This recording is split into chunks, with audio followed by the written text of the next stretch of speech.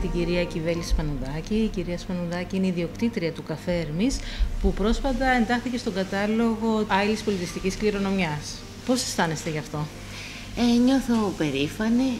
Ε, αν και όλα αυτά τα χρόνια δεν μπορώ να πω και ειδικά όταν έχουμε μπει στα ιστορικά καφέ της Ευρώπης ήταν και αυτό πολύ σημαντικό και γι' αυτό και όλας βάλαν όλα τα ιστορικά καφέ και στη Μυριλίνη υπάρχει το δικό μας και το Πανελλήνιο.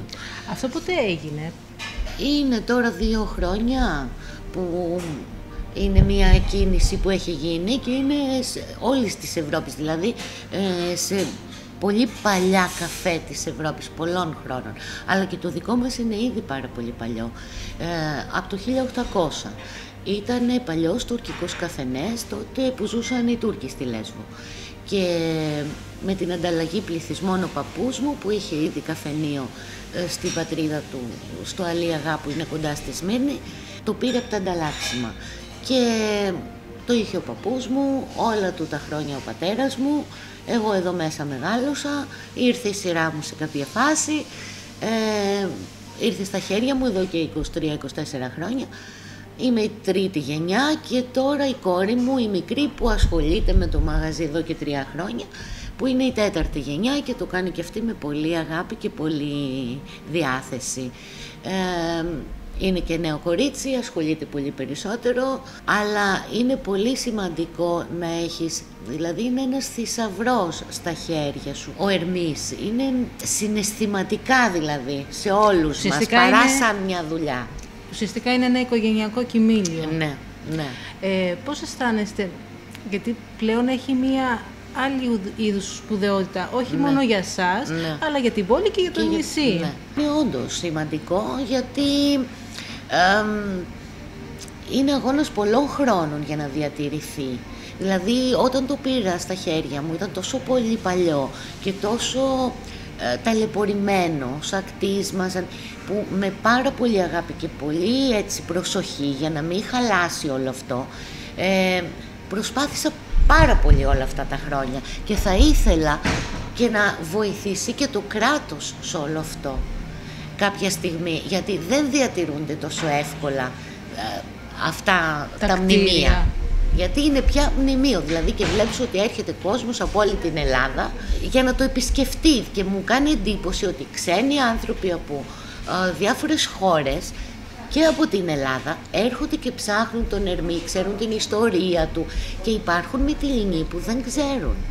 Δηλαδή πολλοί Μυτιλινοί το έχουν επισκεφτεί, αλλά είναι και πάρα πολλοί Μυτιλινοί που δεν ξέρουν καν την ύπαρξή του. Δηλαδή προχθές που έγινε όλο αυτό, ήδη ας πούμε μας ψάχνανε. Υπάρχουν κάποιες στιγμές ε, που τις ζήσατε εδώ μέσα και δεν πρόκειται να τις ξεχάσετε; Είναι πάρα πάρα πολλές οι στιγμές αυτές, δηλαδή από μικρό παιδάκι.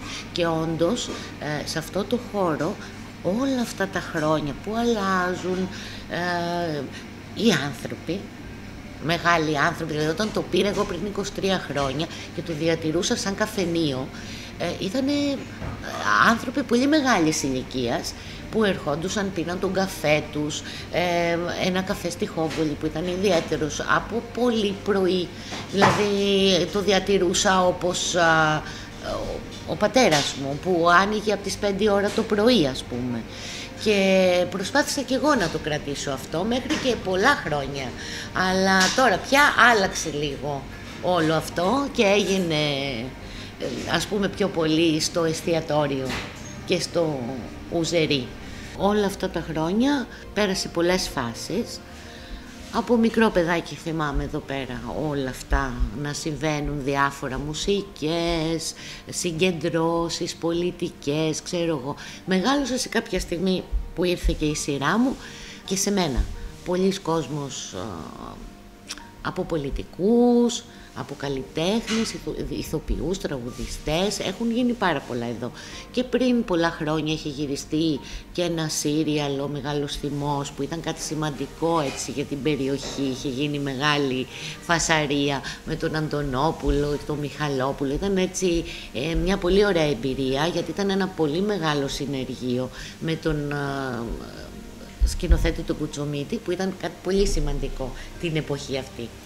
Πώς αισθανόσαστε που όλοι αυτοί οι άνθρωποι πέρασαν μέσα από αυτόν τον δικό σας χώρο; Πολύ όμορφα και έχω γνωρίσει πολλούς ανθρώπους σημαντικούς και έχουν ευχαριστηθεί ε, από την περιποίησή μας εδώ και από το χώρο μας και όλοι ας πούμε τους έκανε εντύπωση ε, πώς έχει διατηρηθεί τόσα πολλά χρόνια αυτός ο χώρος έτσι όπως είναι και είναι ιδιαίτερος και λειτουργεί, αυτό είναι το σημαντικό γιατί υπάρχουν πολλά ιστορικά καφέ που έχουν αλλάξει χέρια που γιατί και σε εμάς σας λέω για πάνω από 100 χρόνια ήταν τουρκικός καφενές αλλά όταν το πήρε η οικογένειά μου είναι άλλα τόσα, άλλα εκατό τόσα στην οικογένεια. Ε, άλλα ιστορικά καφέ έχουν αλλάξει χέρια, είναι σαν επιχειρήσεις πια. Εμάς είναι το σπίτι μας. Και γι' αυτό το αγαπάμε και προσπαθούμε ό,τι κάνουμε και όλα να είναι έτσι, όπως και το φαγητό μας. Είναι σπιτικές συνταγές μαγειρεμένες από τη γιαγιά μου, τη μητέρα μου που δούλευε εδώ μέσα και μαγείρευε όλα αυτά τα χρόνια και ο πατέρας μου που ήταν πολύ καλός στα μεζεδάκια του με τα ούζα και όλα αυτά παλιά παλιά ήταν από τον παππού μου σαν καφενείο καφενείο με ναργιλέδες, ροφήματα, ε, κάποια παιχνίδια, οντάμα, χαρτιά, τάβλη και τέτοια. Όμως τα χρόνια περνάνε, εξελίσσονται και τώρα φτιάχνουμε πάλι καφέ το πρωί μετά τις ωραίες μας σπιτικές συνταγές από το μεσημέρι μέχρι αργά το βράδυ. Ε, το παλεύουμε για να το κρατήσουμε. Η αγαπημένη σας γωνιά μέσα σε αυτό το καφενείο; Η αγαπημένη μου γωνιά είναι αυτή εκεί κάτω από το τιμοκατάλογο. Γιατί; Ε, γιατί από μικρό παιδάκι καθόμουν εκεί και διάβαζα και μετά με έπαιρνε και ο ύπνος και ήταν η γωνιά μου. και μέχρι τώρα την αγαπάω.